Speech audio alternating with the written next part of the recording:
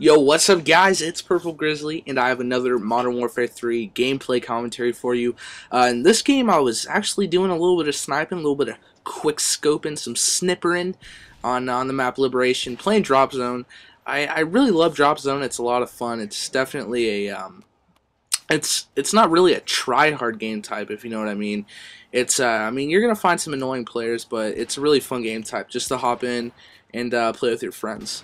But that's not what the commentary is about today. I'm going to be telling you guys a little live story about my very first drift.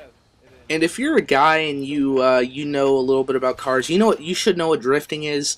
Uh, if you also if you've seen the movie Fast and the Furious Tokyo Drift, uh, that's so you so you understand what I'm talking about. I'm not talking about like a drift of wind or you know someone old lady farts and it drifts towards you. Um, I, am talking about a car drift where uh, where you go around a sharp corner and what you do is you handbrake and um, your car almost like it pretty much slides around the corner. It's like I can't even describe it. It's just it's pure magic. Um, and that actually happened to me the very first time the other day. Uh, so let me ahead and tell you guys uh, like how it happened. Um, it was free pancake day at IHOP, and my friend Avery and I were like, okay, we're hanging out. We're like, we're gonna go to get some pancakes, um, and we were at my our uh, our youth group that Tuesday night, hanging out, and um, it, it, was over, and so we're like, free pancakes at IHOP, let's go. And uh, there were a lot of people going to it, so we we kind of got my car. I was driving, Avery was uh, riding passenger, and um, after we left this uh, the building, we continued down the road, and there's this really sharp turn that uh, it's one of those turns where there's a sign to tell you to go 25 miles per hour. Um, and but I wasn't. We were going really fast. go get some pancakes, you know. It's for a good cause. Um, and the thing is, like an hour before that, it was snowing very lightly. I live in California, Northern California, and uh, so it snows it snows a little bit every every time of year around now. Um, and it wasn't like heavy snow, but it was kind of like slush snow, like a barely sprinkling snow. And so that got the roads nice and slippery. And I hit this 25 mile an hour corner at about 35 to 40, which was not smart. I do not advise doing that at all. And I I make this left turn. It was turning left, and I felt the back side of the car just kind of like somewhat. I don't even know. Like I didn't. It's almost like I didn't feel the tires. It's almost like we were gliding along the road, and it was. I I can't even describe the feeling. It was pure magic. Um, obviously, you know, to really drift, you got a handbrake and and turn properly. But the only reason that happened for me was because of the snow. Um, but it was like I really felt like we were floating there, and I it was like everything was in slow motion, and uh, there was a little bit of hang time. And I after the turn, I was like, I look at my friend Avery. He's looking at me. He's like, "Did that just happen?" I'm like, "Yes, it did," and that was magic. Because I don't know. I mean, I don't know if it's just because I'm a guy, and I think that's awesome drifting.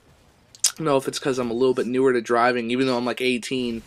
I uh, I just like got my license a couple months ago, which kind of sad, but yeah, it was like it was it was one of those experiences that's like it's not really a big deal, but you'll never forget about it. Um, and that was my first drift. You know, I'll be on my deathbed, say 70 years from now, I'll be you know laying on my bed, about ready to die. My whole family surrounded me, and I'll just I'll be thinking like, man, that drift was sick. That was a sick drift, and I'm so glad that that happened.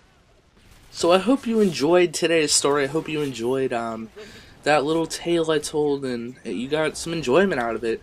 Um, it's really funny too because the next day it was snowing really hard. This was the first time it actually like legitimately snowed here, and I was driving down the street, just got out of the bank, and my car like starts swerving and it turned side like completely sideways. I went from straight from vertical to horizontal, and it was like, whoa, this is sketch, and I almost pissed my pants. Um, but that's a whole other story. So yeah. Also, um, wanted to let you guys know that I do have a Twitter and I do have a Facebook. Um, if you want to like get in contact with me, those are really good ways to do it. So you'll find those down in the description box. Those are also uh, both like really good ways to um, to get to play with me because often I will I'll tweet it out or I'll Facebook it like, hey, I need some teammates send a message to Purple Grizzly for an invite and stuff like that, or just do open lobbies, and it's a lot of fun. I do like to play with my subscribers. Um, one of the benefits of being a smaller channel at the moment is uh, I actually can, you know, manage it to uh, be able to talk to most of you guys, be able to play with you guys, and uh, you know, just kind of, you know, talk, be chill, and chat, and talk about life and deep things, and what kind of tattoos we're gonna get on our inner thighs. I also stated in my recent Overwatch gameplay uh, that I'm going to be starting up my subscriber series again. My friend Dylan is actually doing that. Took it from me, but no big deal. I still love him. He's my favorite little prepubescent commentator. Uh, but yeah, the way this works is you send me a YouTube message of a situation, some like complicated thing, funny or serious, that's going on in your life. Um, send me a message, and you know what? I will give you some advice on what to do to the best of my ability, and I will make a commentary on it. And yeah, so that'd be cool if you uh, if you want to do that. You know what to do, and uh, hopefully you guys enjoyed this gameplay commentary. It was a little more of a chill, relaxed one. And uh, look at this montage kill cam. Oh snap!